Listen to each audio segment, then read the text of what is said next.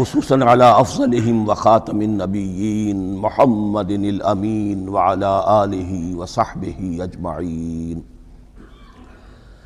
اما بعد فاعوذ بالله من الشيطان الرجيم. بسم الله الرحمن الرحيم. قال، یا قوم ارایتم ان کنت علی بینۃ من ربی. انہوں نے وہی بات فرمائی، میری قوم کے لوگوں، سوچو، اگر میں پہلے سے بھی اپنے رب کی طرف سے بینہ پر تھا، میری فطرت صحیح تھی، میرا کردار صحیح تھا، میں تمہارے ہاں ایک نیک انسان کی حیثیت سے معروف تھا، جیسے حضور الصادق الامین کی حیثیت سے متعارف تھے وہ رضا کنی منو رزقن حسنا۔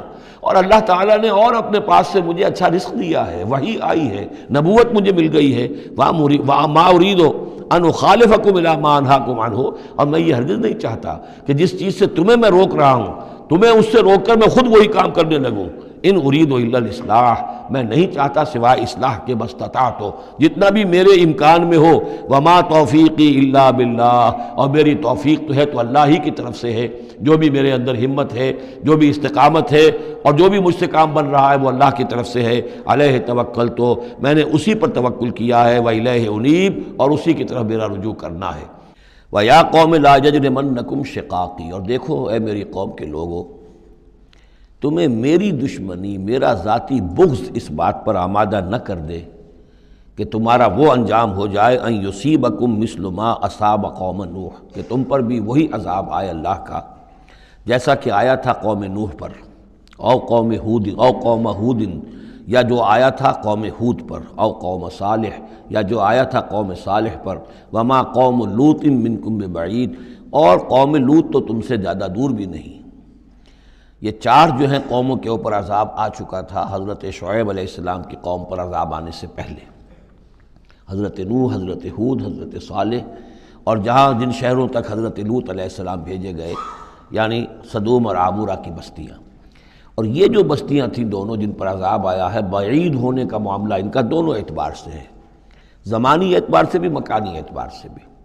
جغرافیے میں بھی ہم نے دیکھ لیا کہ خلیج اقبا کے مشرقی ساحل کے ساتھ جو ہے، علاقہ جو ہے، یہ تھا کہ جو اصحاب مدین کا ہے، جن میں شعیب بھیجے گئے۔ ان سے ذرا ہٹ کر مشرق میں جو ہے بحرۂ بردار ہے۔ اور بحرۂ بردار کے ساحل کے اوپر یہ شہر آباد تھے۔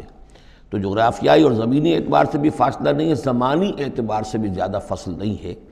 اور اگرچہ بعض لوگوں کا خیال یہ ہے کہ حضرت موسیٰ علیہ السلام جب مدین گئے تھے، مصر سے اپنی جان بچا کر نکلے تھے تو پھر وہاں جس شیخ کے پاس وہ رہے ہیں اور جس کی بیٹی سے پھر انہوں نے شادی کی ہے، اس کے بارے میں لوگوں نے یہ خیال ظاہر کیا کہ وہ حضرت شعیب تھے۔ مجھے اس سے سختی سے اختلاف ہے اور مجھے ان لوگوں کی رائے سے اتفاق ہے جو سمجھتے ہیں کہ یہ ممکن ہی نہیں ہے۔ حضرت شعیب کی قوم کے اوپر جو عذاب آ چکا تھا، اس کے بعد جو لوگ بچے کھچے وہاں آباد تھے، ان میں کوئی نیک آدمی تھا کہ جس کے پاس حضرت موسیٰ علیہ السلام کا جانا ہوا ہے۔ لیکن یہ کہ بہرحال اتنا فصل کوئی ہزاروں برس کا نہیں ہے ان کے مابین، سینکڑوں برس کا بھی شاید نہ ہو، قریب کا ہے معاملہ، زمانی اعتبار سے بھی اور زمینی اعتبار سے بھی۔ اب جو نقطہ اس میں اہم ہے وہ یہ ہے کہ بسا اوقات کسی شخص کو کسی دائی حق سے ذاتی پرخاش ہوتی ہے، کوئی ذاتی بغض ہے، کوئی ذاتی دشمنی ہے، کسی سبب سے ہے، اس کے نفسیاتی اسباب ہو سکتے ہیں اور بہت سے اسباب ہو سکتے ہیں۔ اور صرف ایک ذاتی پرخاش کی وجہ سے وہ اس کی دعوت کو رد کرتا ہے، اس کی مخالفت پر کمر بستہ ہو جاتا ہے، اس کی دشمنی اختیار کرتا ہے۔ نتیجہ کیا ہے؟ اس کا کچھ نہیں بگاڑتا، اپنے آپ کو برباد کر لیتا ہے، اپنی تباہی کو دعوت دیتا ہے۔ تو اے میری قوم کے لوگوں، میری زدم زدہ میں تم کہیں اس انجام سے دو چار نہ ہو جانا۔ ایسا نہ ہو کہ میرا بغض اور میری عداوت جو ہے، وہ یا قوم لا یجر من نقم شقاقی۔ ان یصیبکم مثل ما اصاب قوم نوح او قوم حود او قوم صالح وما قوم لوط منکم ببعید واستغفروا ربکم اور دیکھو، استغفار کرو اپنے رب سے، ثم توبوا الیہ پھر اس کی طرف رجوع کرو، اس کی طرف آگے بڑھو، اس کی اطاعت کرو، اس کی فرما برداری کرو۔ ان ربی رحیم الودود یقیناً میرا رب رحیم بھی ہے، ودود بھی ہے، محبت فرمانے والا ہے۔ قالو یا شعیب ما نفقہ کثیر مما تقول. انہوں نے کہا کہ اے شعیب، تم جو کچھ کہتے ہو اس کی اکثر بات تو ہماری سمجھ میں نہیں آتی. کیا کہہ رہے ہو تم؟ یعنی یہ کہ ذہنوں کے سانچے اتنے بگڑ گئے ہوتے ہیں کہ سیدھی بات ان میں فٹ بیٹھتی نہیں. ما نفقہ کثیر مما تقول. و انا لنرا کفینہ ضعیفہ ہم تو یہ دیکھ رہے ہیں کہ تم ہمارے اندر کوئی طاقتور آدمی نہیں ہو، کمزور سے آدمی ہو. ہم تو دیکھتے ہیں کہ تمہارے پاس کوئی قوت نہیں ہے. لولا راہ تو کا اگر نہ ہوتا تمہارا خاندان لرجم ناکا تو ہم تجھے کبھی کا سنسار کر چکے ہوتے۔ اب یہ بات بہت اہم ہے اس وقت۔ اصل میں یہ جو صورت مکی نازل ہو رہی ہیں، جو حضور کی دعوت اور تحریک جس دور سے گزر رہی تھی اور جو کچھ ہو رہا تھا، وہ اس کا ایک عکس سابقہ انبیاء اور رسول کے حالات میں بھی جو ہے، تو وہ اسی دور کی مناسبت سے وہی باتیں نمایاں کی جاتی ہیں۔ یعنی جو تکرار ہوئی ہے ان رسولوں کے حالات کی، وہ تکرار محض نہیں ہے۔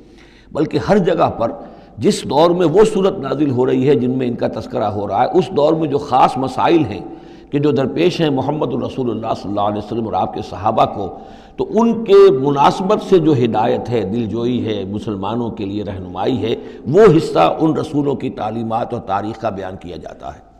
اب یہاں مکے میں بھی شکل یہ ہو چکی تھی کہ بقیہ سب قریش جو ہیں، وہ حضور کے خلاف جو ہیں، سخت غیظ اور غضب کے اندر مبتلا تھے۔ لیکن چونکہ حضور کے چچا ابو طالب یہ خاندان بنی ہاشم کے سردار تھے اور انہیں ذاتی محبت تھی، وہ چاہے ایمان نہیں لائے حضور پر صلی اللہ علیہ وسلم، لیکن ذاتی محبت انہیں اتنی تھی کہ انہوں نے آخری وقت تک سپورٹ کیا ہے۔ اور قبائلی زندگی میں یہ ہوتا ہے کہ اگر کہیں کسی ایک خاندان کے، کسی فرد کے اوپر کوئی ہاتھ اٹھایا جائے، تو پھر وہ خاندان انتقام لیتا ہے۔ اس کا مطلب یہ ہوتا کہ وہ حضور کے خلاف وہ کوئی اقدام کرتے ہیں تو گویا کہ ان فائٹنگ شروع ہو جائے گی۔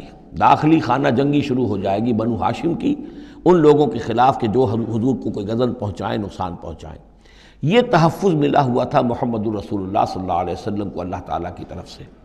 اگر خدا نہ خواستہ ابو لہب ہوتا، اس سردار تو کبھی کا حضور کے خلاف کوئی نہ کوئی اقدام وہ کر چکے ہوتے۔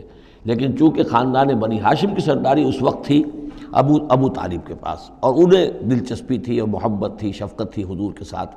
بلکہ کچھ عرصہ جو ہے حضور ان کے سائے عاطفت کے اندر انہوں نے گزارا بھی تھا۔ اس وجہ سے تو یہ نقشہ دکھایا جا رہا ہے کہ آج قریش کے مقابلے میں جس طریقے سے کہ بنو ہاشم کی سپورٹ اور حفاظت جو ہے وہ حضور کے لیے اللہ تعالیٰ نے اسے قلعہ بنا دیا ہے۔ یہی معاملہ اس وقت تھا کہ حضرت شعیب کا بھی خاندان ان کا پشت بنا تھا۔ ولولا راہتوں کا اگر تمہارا خاندان تمہارا پشت بنا نہ ہوتا اور تمہارا ساتھ نہ دے رہا ہوتا، اللہ رجم نہ کا ہم کبھی کہ تمہیں سنسار کر چکے ہوتے۔ وما انت علینا بے عزیز اور ذاتی طور پر تم ہم پر کوئی بھاری نہیں ہو، تو تمہاری کوئی حیثیت نہیں ہے۔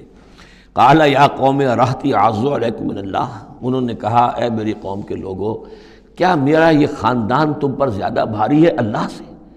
میرا پشپنا تو حقیقتاً اللہ ہے، تم اللہ سے نہیں ڈرتے؟ میرے خاندان سے ڈرتے ہو۔ راہتی آز علیکم من اللہ و تخص ورا کم زہریہ اللہ کو تو تم نے اپنی پیٹھوں کے پیچھے پھینکا ہوا ہے، بلایا ہوا ہے۔ یہ بھی بہت ہی اہم نفسیاتی نقطہ ہے۔ ہوتا یہ ہے کہ ہم دنیا میں ایسے مگن رہتے ہیں کہ اللہ کو ماننے کا عقیدہ تو ہے، لیکن اللہ مستحضر نہیں رہتا، یاد نہیں رہتا۔ یہ ہمارا پورا دنیا کا کاروبار چل رہا ہے کاز اینڈ ایفیکٹ علل ہیں، اسباب ہیں، ان کے نتائج نکل جاتے ہیں۔ تو جو کاز اینڈ ایفیکٹ کا جو سلسلہ چل رہا ہے، ہم اس میں اتنے گم ہوتے ہیں کہ مسبب الاسباب جو ہے وہ نگاہوں کے سامنے رہتا ہی نہیں۔ یا یہ کہ ہم اپنے کاموں میں اتنے مشغول ہیں، اپنے کام و دہن کی لذت جو ہے، وہی ہمیں جو ہے کوئی مرصد نہیں لینے دیتی۔ یا یہ کہ بنیادی ضروریات جو ہیں، وہی ہمیں جو ہے اب کوئی فارغ نہیں ہونے دیتی۔ لہٰذا ہم گم ہو جاتے ہیں۔ کافر کی یہ پہچان کے آفاق میں گم ہے، اور مومن کی یہ پہچان کے گم اس میں ہے آفاق۔ لیکن یہ کافر کا معاملہ کیا ہوتا ہے؟ اللہ کو مانتے تو وہ بھی تھے، مانتے تھے مشرقین مکہ بھی، مانتے تو سب تھے اللہ کو۔ لیکن یہ کہ اللہ کو تو انہوں نے اوجھل کیا ہوا تھا، آنکھ اوجھل، پہاڑ اوجھل۔ تم اللہ سے نہیں ڈرتے، میرے خاندان سے ڈرتے ہو۔ وہ تخت ہو ذرا کم زہریہ اللہ کو تو تم نے اپنی پوٹھی پیٹھوں کے پیچھے پھینکا ہوا ہے یعنی اسے تو نسیم منسیہ کیا ہوا ہے، اس کی طرف تمہارا ذہن ہی نہیں ہے۔ ان ربی بما تعملون محیط جبکہ میرا رب جو کچھ کہ تم کر رہے اس کا احاطہ کیے ہوئے، تمہارا گھراؤ کیے ہوئے اللہ، تم اس کی گرفت سے نکل کر نہیں جا سکتے۔ ہو یا قوم عملو علا مکانتکم انی عابل۔ اور اے میری قوم کے لوگوں، کرو جو کچھ کر سکتے ہو اپنی جگہ پر، میرے خلاف جو کر سکتے ہو، جو ریشہ دوانیاں کر سکتے ہو، جو اقدام کر سکتے ہو۔ یہ چیلنجنگ انداز جو ہے، ان آخری صورتوں میں آپ کو نظر آ رہا ہے، سورہ نام سے چلا آ رہا ہے اس لیے کہ وہ کشاکش جو تھی، حق و باطل کی وہ اس انتہا کو پہنچ چکی تھی۔ کہ اب حضور صلی اللہ علیہ وسلم کی طبیعت کے اندر بھی وہ بیزاری پیدا ہو چکی تھی۔ اب جو کچھ تم کر سکتے ہو کر لو۔ انی عامل، اپنا سا جو میں کر سکتا ہوں، میں کر رہا ہوں۔ جو کوشش مجھ سے بن آ رہی ہے، میں کر رہا ہوں۔ صوفت عالمون ان قریب تم جان لو گے۔ من یاتی ہے عذاب یفسی ہے۔ کون ہے وہ جس پر وہ عذاب آئے گا جو اسے رسوا کر دے گا؟ وہ من ہوا کاذب، اور کون ہے وہ جھوٹ جو جھوٹا ہے؟ میں جھوٹا ہوں یا تم جھوٹے ہو؟ ورتقیب انی معکم رقیب۔ تاکتے رہو، انتظار کرو، میں بھی تمہارے ساتھ اب تاک رہا ہوں، منتظر ہوں۔ ولما جا امرونا جب ہمارا حکم آ گیا، نجینا شعیبن ہم نے نجات دے دی شعیب کو، والذین آمن معاہو اور ان کو کہ جو اس کے ساتھ ایمان لائے تھے۔ بے رحمت منا، اپنی جانب سے رحمت کے ذریعے۔ واخذت الزین ظلم الصحت اور جو یہ ظالم تھے گناہ گار تھے مشرق تھے اور کافر تھے، انہیں آپ پکڑا، ایک بہت بڑی کڑک نے۔ فاسبہو فی دیارہم جاسمین، تو وہ اپنے اپنے گھروں میں اور اپنے ولاز میں اور اپنی کوٹھیوں میں، اپنی حویلیوں میں اوندھے پڑے رہ گئے۔ کالم یغنو فیہا، ایسے ہو گئے جیسے وہ کہیں آباد تھے ہی نہیں۔ اللہ بود مدین آگاہ ہو جاؤ، پھٹکار ہے مدین پر، کما باعد سمود جیسے کہ سمود پر پھٹکار ہوئی۔ وَلَقَدْ أَرْسَلْنَا مُوسَى بِآيَاتِنَا، میں نے عرض کیا تھا کہ اس سورہ مبارکہ میں حضرت موسیٰ کا بس ذکر آئے گا، تھوڑا سا جو آ رہا ہے اب، ورنہ یہ چھ رکوع ختم ہوئے انباء رسول کے۔ ان میں سے دو رکوع جو تھے، وہ حضرت نوح علیہ السلام کے حالات پر مشتمل تھے اور باقی سب کے لیے ایک ایک رکوع آیا ہے۔ وَلَقَدْ أَرْسَلْنَا مُوسَى بِآيَاتِنَا وَسُلْطَانٍ مُبِينٍ إِلَى فِرْعَوْنَ وَبَلَائے اور ہم نے بھیجا موسیٰ کو اپنی آیات کے ساتھ اور واضح سند دے کر فرعون اس کے سرداروں کے پاس۔ فَتَّبَعُوا أَمْرَ فرعون۔ لیکن ان بدبختوں نے فرعون ہی کی پیروی کی، اسی کے حکم کو مانا، اسی کی بات پر چلے۔ وما امر و فرعون بن رشید حالانکہ وہ فرعون کا معاملہ جو ہے وہ کوئی کامیابی والی راہ نہیں تھی، ہدایت والی راہ نہیں تھی۔ یکدم و قوم ہو یوم القیامہ اب قیامت کے دن وہ آئے گا، آگے آگے چلتا ہوا اپنی قوم کی قیادت کرتے ہوئے آئے گا، آگے آگے آئے گا۔ یوم القیامت پیچھے پیچھے اس کی قوم آ رہی ہوگی فور ادہم النار، اور پھر وہ لا کر آگ کے گھاٹ پر انہیں اتار دے گا، جہنم تک پہنچا دے گا۔ وہ بیسل ورد المورود، اور وہ بہت ہی برا گھاٹ ہے جس پر اترا جائے۔ جیسے کوئی پانی پینے کے لیے جانور آتے ہیں، ان کا کوئی سردار جو ہے، وہ آگے آگے آ رہا ہو، سب گھاٹ پر وہ اپنے پھر پورے پورے قافلے کو لے آتا ہے۔ اسی طریقے سے یہ جہنم کے گھاٹ پر، اس آگ کے گھاٹ پر لا اتارے گا فرعون اپنی قوم کو۔ بہت فی ہی لانتن اور اس دنیا میں بھی ان پر لانت جو ہے ان کے پیچھے لگا دی گئی۔ وہ یوم القیامہ اور قیامت کے دن بھی بے سر رفت المرفود، برا ہے وہ انعام جو ان کو ملنے والا ہے۔ ذالک من انباء القرا یہ ہیں ان بڑی بڑی بستیوں اور بڑے ملکوں کے اہم خبریں نقص علیہ کا جو کہ ہم آپ کو سنا رہے ہیں، بیان کر رہے ہیں آپ پر۔ منہا قائم و حسید ان میں سے ایسی بھی ہیں جو ابھی قائم ہیں، موجود ہیں، اور ایسی بھی ہیں کہ جو بالکل ختم ہو گئیں، معدوم ہو گئیں۔ حسید کا لفظ اصل میں آتا ہے کھیتی کے لیے جبکہ فصل کاٹ دی جائے۔ فصل کٹ گئی ہو تو جو منظر نظر آتا ہے وہاں پر جو ویرانی ہوتی ہے، تو بعض مقامات تو ایسے ہیں جہاں یہ قومیں آباد تھیں، تو اب ان کا نام و نشان تک نہیں رہا۔ جیسے کہ قوم عاد کہاں تھی، اب ان کا نام و نشان نہیں۔ اگرچہ ابھی حال ہی میں سیٹلائٹ کے ذریعے سے ان کا جو شہر ہے اور شداد کی جو جنت تھی، اس کے آثار مل گئے ہیں۔ لیکن یہ کہ وہ زیر زمین ہے، سطح زمین کے اوپر ان کا کوئی نام و نشان نہیں۔ لیکن یہ کہ جیسے سمود کے مسکن جو ہے وہ بھی موجود ہیں۔ منہا قائم و حسید وما ظلم نہ ہوں ولاکن ظلم و اور ہم نے ان پر کوئی ظلم نہیں کیا، انہوں نے اپنی جانوں پر خود ظلم اٹھایا۔ فما اغنت عنہم آلہتہم التی ادون من دون اللہ۔ ہے تو کچھ کام نہ آ سکے اور کچھ بچا نہ سکے انہیں، ان کے وہ آلہہ، وہ معبود کہ جنہیں وہ پکارا کرتے تھے اللہ کے سوا، من شے کچھ بھی۔ لما جا امر ربک، جب تیرے رب کا حکم آ گیا، وما زادوہم غیر تطبیب، اور انہوں نے کچھ اضافہ نہیں کیا ان کے حق میں مگر تباہی اور بربادی کا۔